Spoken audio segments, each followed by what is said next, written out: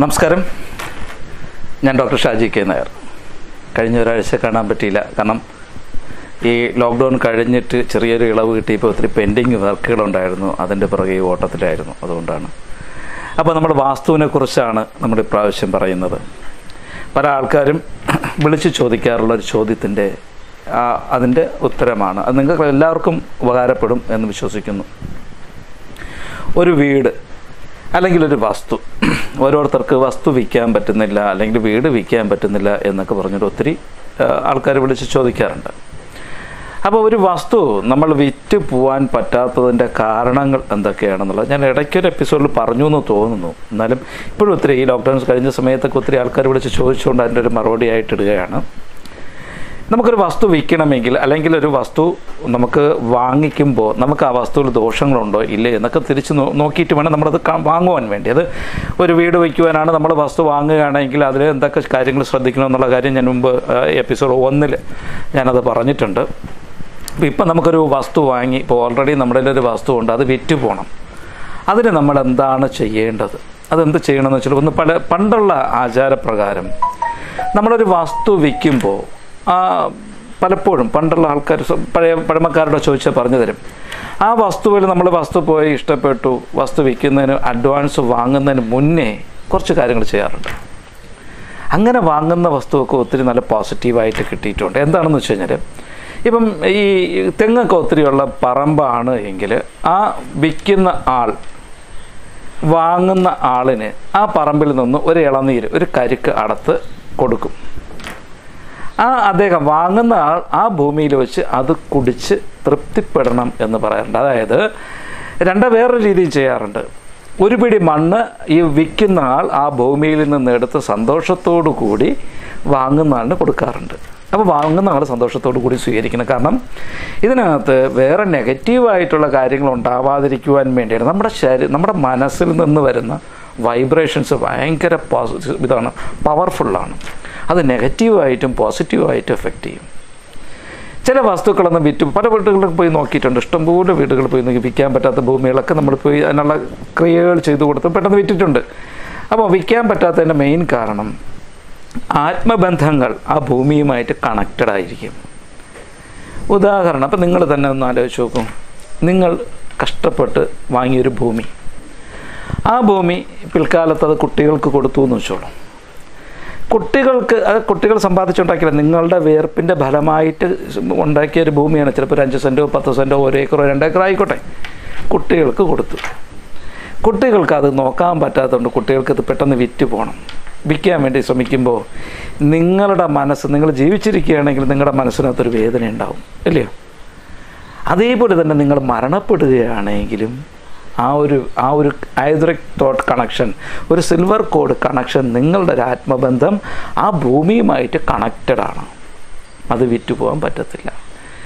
ഈ പല പല ലാഗ് ചെയ്ത് ലാഗ് ചെയ്ത് നിൽക്കും നമ്മൾ ഉദ്ദേശിക്കുന്ന ക്യാഷിനത് ഇപ്പം ഒരാൾ വന്നൊരു വില പറയണമെങ്കിൽ അതിന്റെ വളരെ താത്തൊക്കെ വില പറയുള്ളൂ. അങ്ങനെയൊക്കെയുള്ള വിഷയങ്ങൾ അതിനകത്തുണ്ട്. അപ്പം അങ്ങനെയുള്ള ഭൂമികൾ വിറ്റ് പോകണമെങ്കിൽ നമുക്ക് ആ ഭൂമി കണ്ടതിന് ശേഷം അതിനകത്തുള്ള സിൽവർ കോഡ് കണക്ഷൻ ആ ആ ആത്മബന്ധങ്ങൾ ഡിസ്കണക്റ്റ് ചെയ്യണം. ഇനി ഇത്ര വലിയ കൊടി കെട്ടിയ ആളുടെ ഭൂമിയായിരുന്നാലും ആ ആത്മബന്ധം ഡിസ്കണക്റ്റ് ചെയ്ത് കഴിഞ്ഞാൽ മാത്രമേ ആ ഭൂമി വിറ്റുപോകാൻ പറ്റുള്ളൂ. അത് ശ്രദ്ധിക്കണം. ആ ഡിസ്കണക്ട് ചെയ്യുന്ന എങ്ങനെയാണ് ഡിസ്കണക്ട് ചെയ്യുക? ആ ഭൂമിയിൽ വച്ച് എന്താണോ എങ്ങനെയാണ് എവിടെ നിന്നാണ് ആ ഒരു ആത്മബന്ധം അവിടെ വന്നിട്ടുള്ളത്? പിതൃക്കളുടെയാണോ അല്ലെങ്കിൽ അപമൃത്യു മാരണങ്ങളുടെയാണോ അങ്ങനെ എന്തെങ്കിലുമൊക്കെ നോക്കി അല്ലെങ്കിൽ വല്ല ദേവതമാരുടെയാണോ?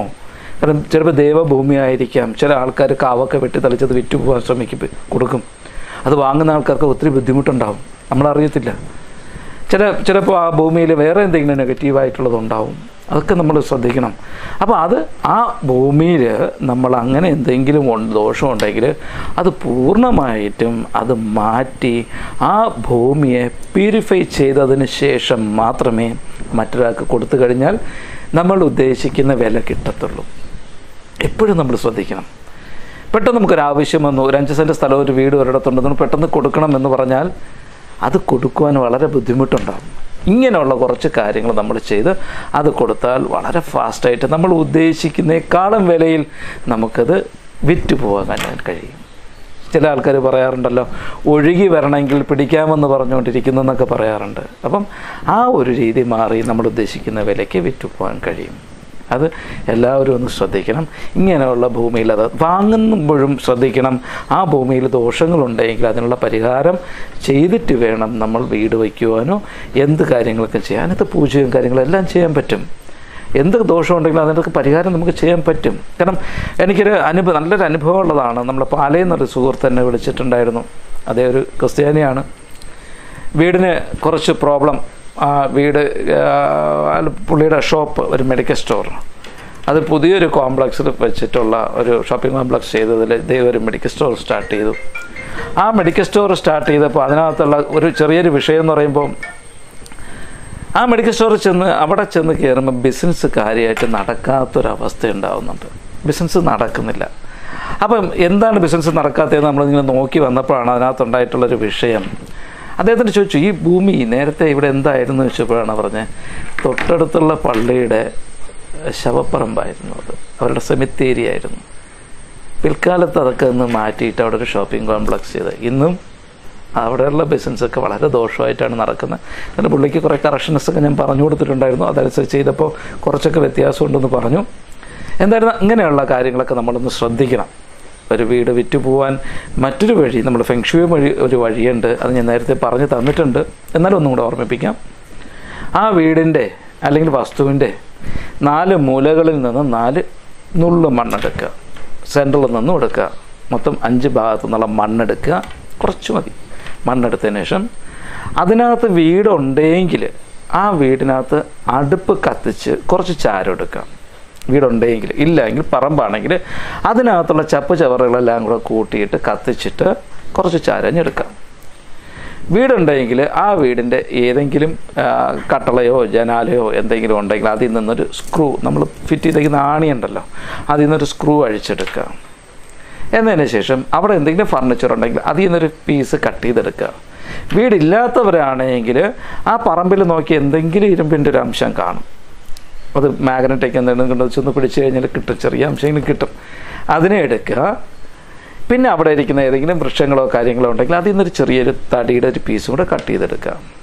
ഇത്രയും കൂടെ എടുത്തതിന് ശേഷം അതായത് മണ്ണ് ചാരം ഇരുമ്പ് വുഡ് തടിയുടെ ഒരു പീസ് ഇത്രയും ഒരു ചുമന്ന കളർ തുണിയിൽ പൊതിഞ്ഞതിന് ശേഷം തൊട്ടടുത്ത് ഒഴുകുന്ന നദി ഏതെങ്കിലും ഉണ്ടെങ്കിൽ അല്ലെങ്കിൽ തോടോ എന്തെങ്കിലും ഇത് ഒഴുകി അത്രയേ ഉള്ളൂ ഉദ്ദേശം.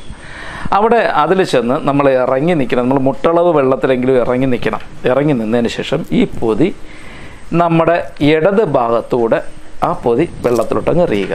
ആ ചുമന്ന തുണിയിൽ പൊതിഞ്ഞിരിക്കുന്ന പൊതി ഇടത് ഭാഗത്തോട് വെള്ളത്തിലോട്ട് എറിയുക അത് വെള്ളത്തിൽ വീണം ഒഴുകി പോകണം തിരിഞ്ഞ് നോക്കണ്ട. അത് വെള്ളത്തിൽ തന്നെ വീണു എന്ന് വെച്ചിട്ടുണ്ടെങ്കിൽ നമുക്ക് തിരിച്ച് കയറിഞ്ഞ് പോരുക. തിരിഞ്ഞ് നോക്കാതെ വരിക.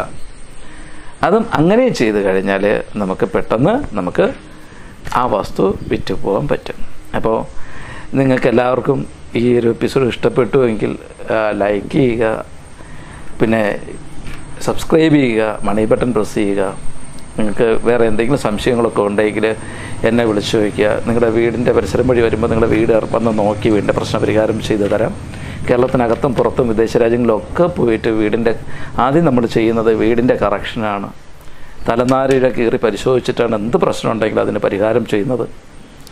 ആദ്യം നമ്മുടെ ബേസാണ് ഇമ്പോർട്ടന്റ് ഒരു പലപ്പോഴും പറഞ്ഞിട്ടുണ്ട് ഞാൻ ഇതൊക്കെ. ഒരു വ്യക്തിയുടെ ജീവിതത്തിന്റെ നാൽപ്പത്തഞ്ച് ശതമാനം സ്വന്തം വീട് വീട്ടിലെ ബെഡ്റൂമാണ് നമ്മൾ എണീക്കുമ്പോൾ ഉണ്ടാകുന്ന നമ്മുടെ മൂഡാണ് അന്നത്തെ ദിവസത്തെ കംപ്ലീറ്റ് കൊണ്ടുപോകുന്നത്. അപ്പം വീട് പോസിറ്റീവ് ഉണ്ടെങ്കിൽ എനർജി ഉണ്ടെങ്കിൽ മാത്രമേ നമ്മൾ എന്ത് കാര്യത്തിൽ ഇറങ്ങിയാലും സക്സസ് ആവുള്ളൂ. ഫസ്റ്റ് നമ്മൾ നോക്കേണ്ടത് നമ്മുടെ വീട് വീട്ടിലെ ബെഡ്റൂം നമ്മുടെ വീട് നമുക്ക് സൂട്ടബിൾ ആയിട്ടുള്ള രീതിയിൽ മാറ്റിയെടുക്കുക.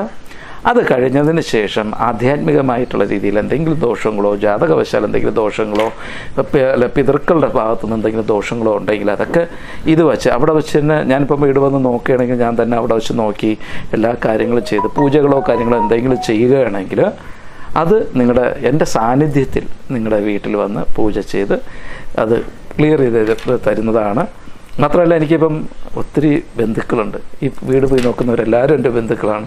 ഏത് സമയം വേണോ വിളിച്ച് കാര്യങ്ങൾ ചോദിക്കാൻ പറ്റും. പ്രത്യേകിച്ച് കൺസൾട്ടിങ് ഫീ ഒന്നുമില്ല അപ്പോൾ നിങ്ങൾക്ക് എന്തെങ്കിലും സംശയങ്ങളോ കാര്യങ്ങളോ ഉണ്ടെങ്കിൽ നിങ്ങൾ വിളിക്കുക. നിങ്ങളുടെ വീട് വന്ന് നോക്കി കറക്റ്റ് ചെയ്യണമെങ്കിൽ വീട്ടിൽ താമസിക്കുന്ന എല്ലാവരുടെയും പേര് ഡേറ്റ് ഓഫ് ബർത്ത് വീടിന്റെ ഡയറക്ഷൻ ഇതെല്ലാം കൂടെ ഒരു പേപ്പറിൽ നോട്ട് ചെയ്തതിന് ശേഷം എനിക്ക് എന്റെ നമ്പറിലോട്ട് ഈ നമ്പറിൽ വാട്സപ്പ് ഉണ്ട്. അതിലോട്ട് വിടുക.